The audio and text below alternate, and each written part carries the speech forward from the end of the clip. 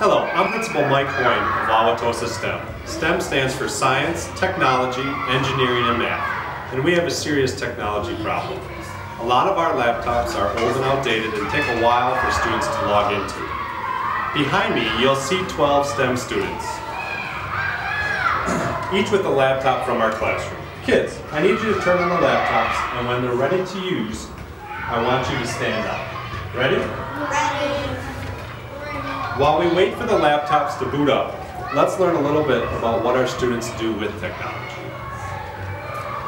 Hi, I'm Mr. Sellers. I'm the 4-5 teacher here at the WSTEM class. Who in here could help me and share their thoughts on how we use technology in the classroom? Oh, I love the enthusiasm.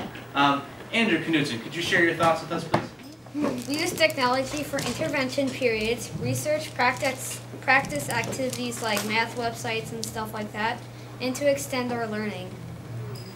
Excellent. Well put, Andrew. How about somebody else? Anybody else have their thoughts on how we use technology in the classroom? Maggie. We use technology for developing presentations and presenting them. Keyboarding, and hopefully in the future, we want to make our own websites with information about our outdoor classroom. Uh, as you can see, we love to infuse technology into everything we do here at Wauwatosa STEM. Sadly, we have some technology issues that are holding us back. Uh, we try to give our students the best education po as possible, and that's why we're asking for your help. Thank you very much from the Wauwatosa STEM 4th and 5th grade classroom.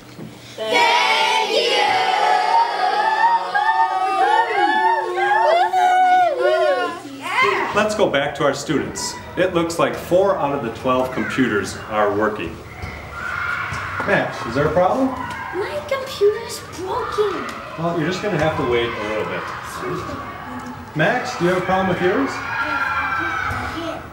Yeah, well, it seems like there's a lot of problems with all of theirs, but eventually we'll be able to get logged in. Hopefully at some point we'll be able to get some better technology so that our students will have the resources they need to be successful here at school. You know how quickly technology advances and how hard it is to keep up. Now imagine keeping up with the needs of 100 students. We need your help. Thank you for considering a gift. Help Wauwatosa STEM stay the number one school in the state of Wisconsin.